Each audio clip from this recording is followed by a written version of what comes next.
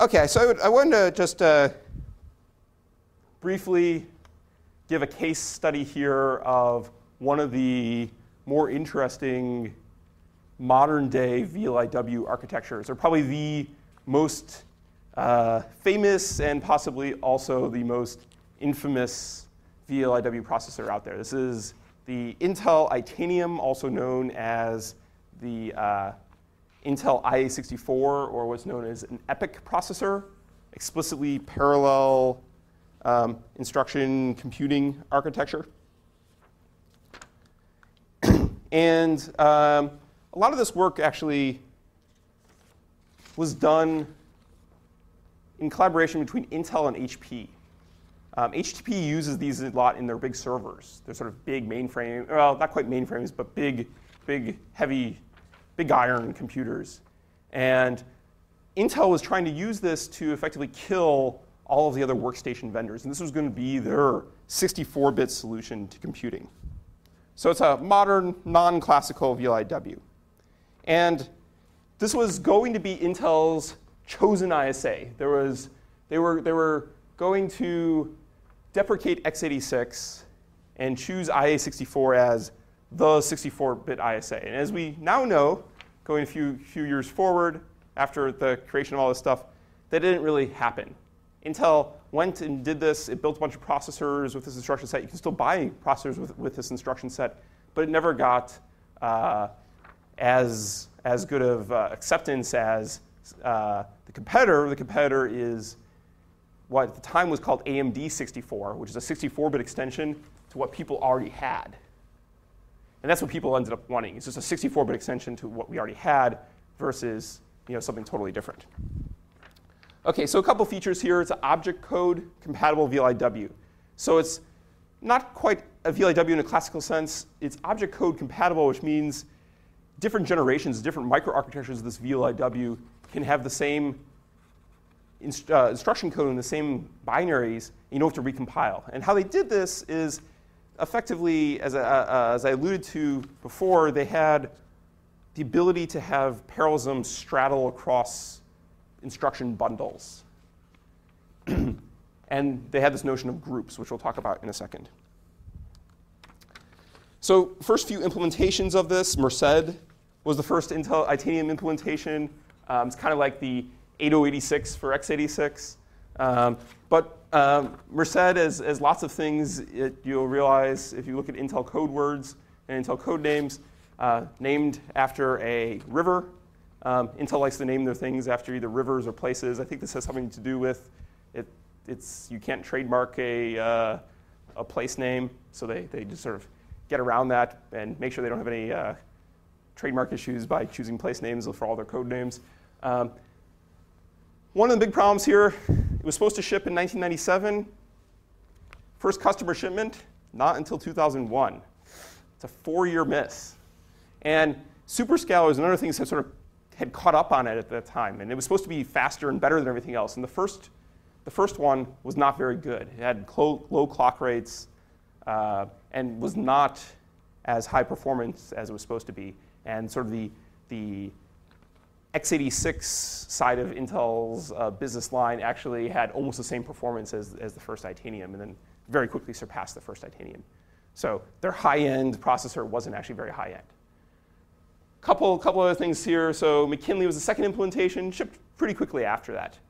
Um, this was much better implementation, but uh, you know, it's still, still hard to do, but we're still building these things. So in 2011 at ISSCC, the Intel introduced the Poulson processor.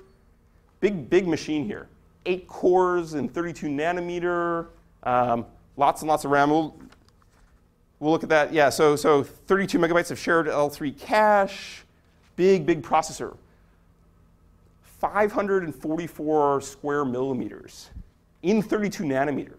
So at the time this came out, this was the biggest processor ever built um, most number of transistors, so over 3 billion transistors, um, or at least the biggest commercial thing. Uh, Intel might have had a research prototype, I think, that might have had more transistors than this. I think their uh, multi-core processor, or their, uh, what do they call it, the uh, SCC, their, their single chip cloud computer might have had uh, more, but I don't actually know the transistor count. But from a commercial processor perspective, huge chip. But they're selling it into extremely uh, expensive sort of sockets. They're, selling the chip for a premium. It's going into big mainframes. That was not where this was originally destined for. It was destined for both big mainframes and workstations.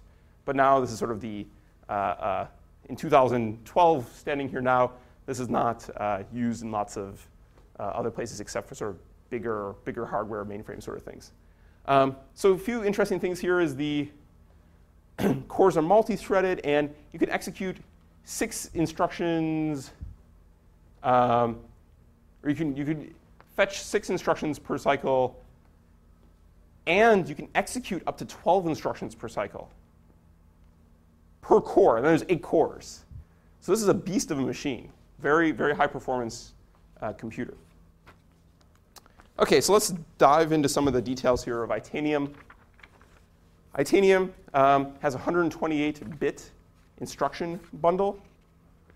And inside of there, you can fit the three operations. And then there's some what are called template bits, which sort of say, says what is in the instruction uh, bundle. So um, it's not actually a fixed format bundle. These instruction boundaries can move around a little bit. And they did that so you can sort of mix in something like a uh, immediate instruction with an instruction which doesn't have immediate and get more space in, in the bundle for the immediate bits. So you can have, or, or branch offset or something like that. These template bits also describe how a particular bundle relates to other bundles around it. So these, sometimes these are called uh, begin and end bits or start and stop bits. So it says the number of instructions which can execute explicitly in parallel.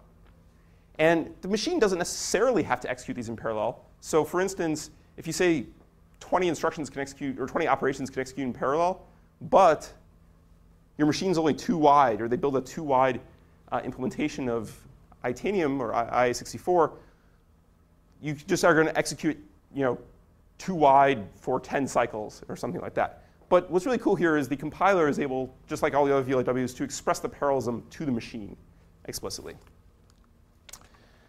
Um, some interesting things about the registers. They, because this is a VLIW processor, and because you're going to have to do code scheduling like what we saw uh, in last class, they, and that, that increases the general purpose register pressure. You don't have a register renamer. So you can't go and use different names for things, and the hardware is not going to rename things for you. So instead, the compiler and the software is going to have to do the renaming. So they had 128 general purpose registers and another 128 floating point registers. And they also had these predicate registers. So they're not quite full predication, but they're pretty close to full predication. So you can have bits that say whether later instructions are going to execute or not, and you have to compute that into a little register file. So they had a predicate register file that you have to bypass. Um, so that's, that's sort of interesting to see. And then they had the, a really interesting feature here, um, which is called uh, rotating register file. And let's, let's talk about what a rotating register file is.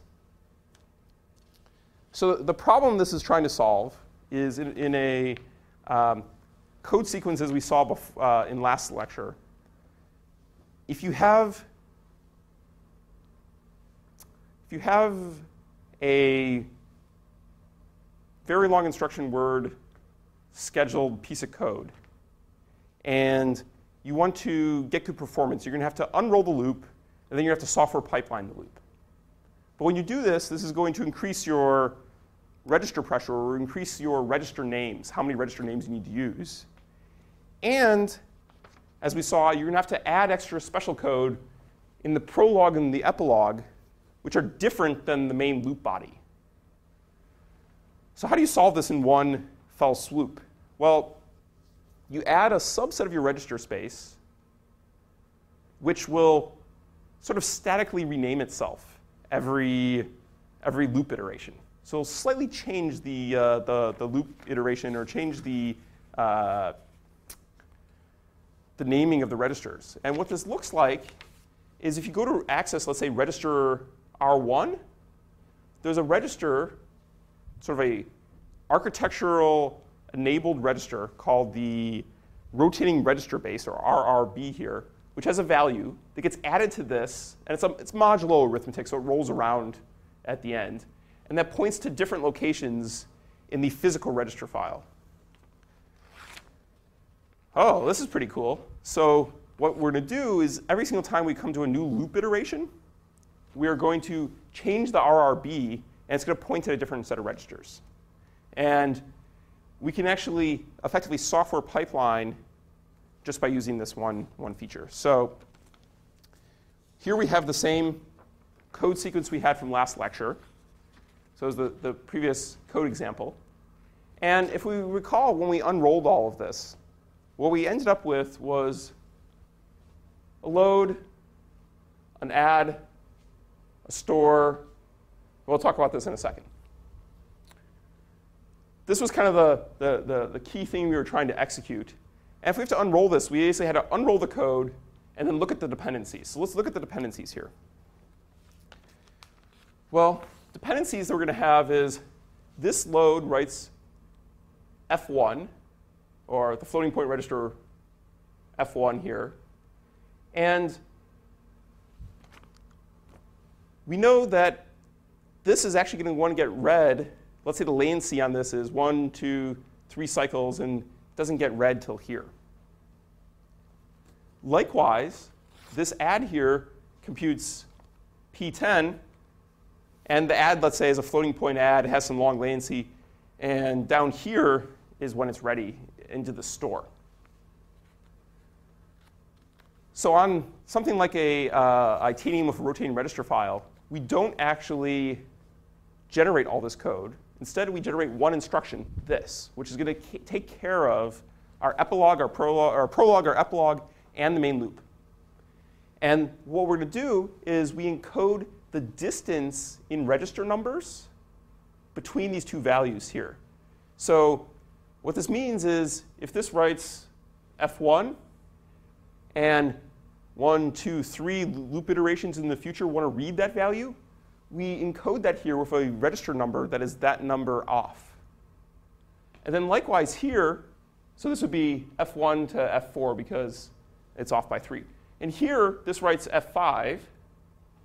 And we know this wants to be read 1, 2, 3, 4 later. So we encode it with a register number that's 4 into the future. And now we're going to talk about this instruction here. So what this is going to do is it's going to change the rotating uh, register base number, or the RRB, and it's going to bump it by 1. So we can basically just keep branching to itself here. And each time we do it, the, all the registers are going to change names. So by the time this is ready, or by the time the load is ready here, these other values will have sort of caught up with it, where the physical register that they're actually going to look at will now point to the correct location. So we can effectively uh, encode into one instruction here all of this, including the prologue and the epilogue, using this rotating register file. OK, so last, last slide of today. Why do I think Itanium, I think we can pretty confidently say failed. Um, I actually don't think it was a lot of the ideas. Um, I think some of it, a lot of it had to do with the implementation. So first off, if you tie the hands of the microarchitect, they're going to scream. So IA64 added a lot of architectural, big A architecture or ISA level features in order to get a lot of the speculative parallelism. And a lot of that stuff was implemented and talked about, but never actually built in real processor. So people didn't go through the effort until basically the first Itanium to try to implement some of these things. And they didn't all mix well together. And they added a lot of state and they added a lot of complexity to the processor. So we have ALAT, full predication or almost full predication, rotating register files, um, to name a few. This really complex uh, bundling sequence, that's probably one of the hardest to decode instruction sets in the world. very, very challenging. And this was a big, a big, uh, big challenge. And, and it's, it tied the hands of the microarchitect. And the microarchitect couldn't make decisions. So a good example of this, and a funny, funny story here is that um, after uh, the DEC Alpha employees, Digital Equipment Corporation employees, um, left DEC and were sort of assumed into a part of Intel, that same team that used to build out-of-order alpha processors went on to go build sort of the next next generation of an Itanium processor. And what they said is they went to go look at the Itanium processor, and they're like, wow, this is really complicated. It took them uh, much more complicated than alpha. And then they said, oh, well, we could probably do better if we just built an out-of-order superscalar, took apart all of the instructions, took apart all the dependencies, uh, poured that data into what was effectively an alpha out-of-order superscalar core, and then execute it. And what was funny is if you go look at this is like all the, the people, you can sit there and just bang your head because you did all of this work and added all of this architectural state to allow the compiler to do all this, this work. And then they were just wanted to undo it all. Um, I mean, they did this because they wanted performance, but then they wanted to undo all of the sort of state and all of this hard work the compiler did and just redo it all in, uh, dynamically because they thought they could be get better performance. They probably could have.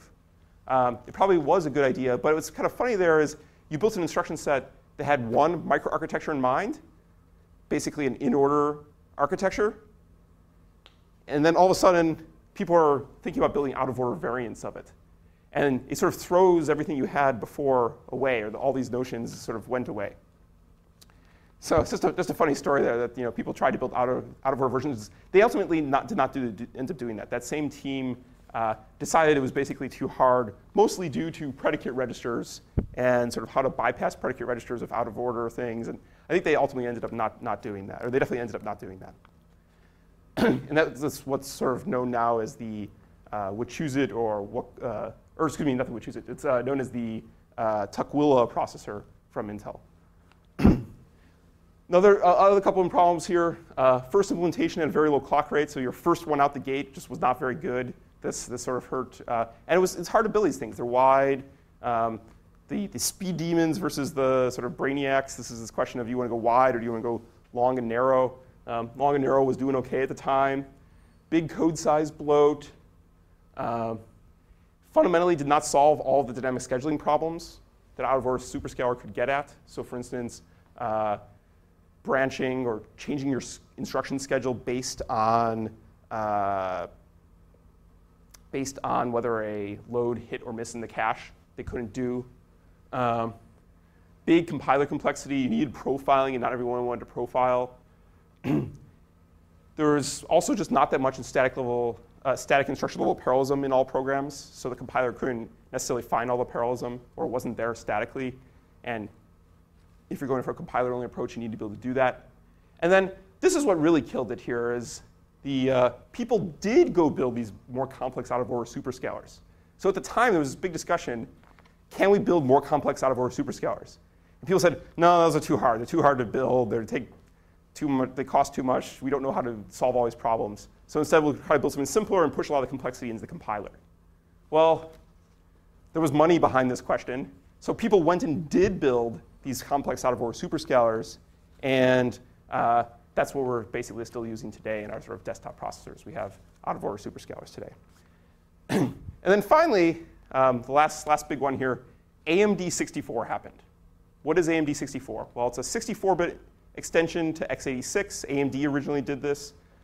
Intel, after sort of dragging their feet for a couple, couple years on this, finally decided, oh, we're gonna, we're gonna use that because people wanted this. People wanted code compatibility with the ability to do 64-bit uh, sort of wider, both arithmetic operations and uh, wider address addressing, so more amounts of memory. And 64 bits is a lot of memory.